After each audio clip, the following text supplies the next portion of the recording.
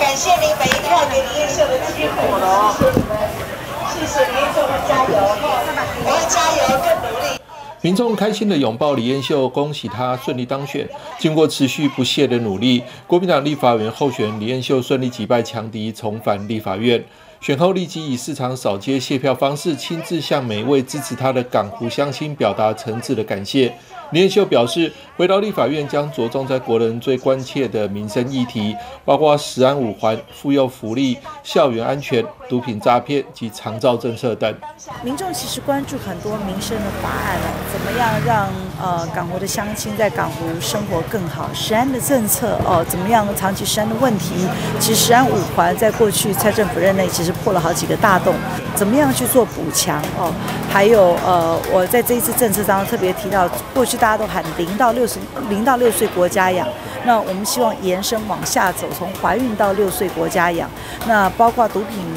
滥用的议题，还有校园的安全，还有诈骗的议题哦。那呃，这些政策恐怕都是我们在呃立回到立法院之后要立即推动。还有包括我长期在提长照的政策，怎么样呃，我们做更完整的照顾。呃，还有包括我们呃现在家长们关注的。呃，这个呃幼稚园云端设置的议题哦，怎么样放心的双薪家庭让孩子能够呃进入呃幼儿园等等哈，所以我想呃这些都是立即要处理的政策。林彦秀会回到立法院，呃，马上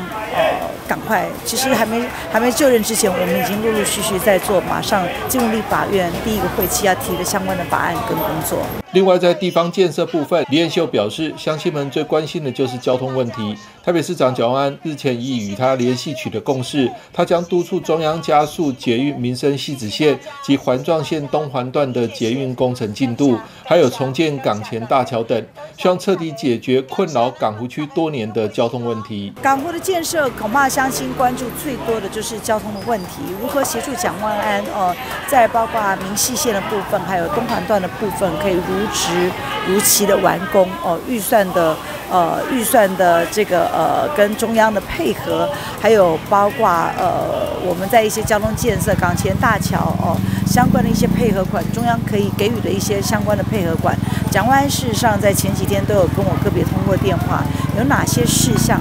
需要我们这些台北市的立法委员啊接下来协助蒋万的地方，我想我们就是一个台北 team 哦。呃，我们会立即的赶快去做一些沟通，那回到立法院立即做一些呃意识上的处理，呃，务必让这些重大工程能够顺利的发包，那能够如职如期的完工。每一票的支持，感谢大家，每一票给李彦秀的机会。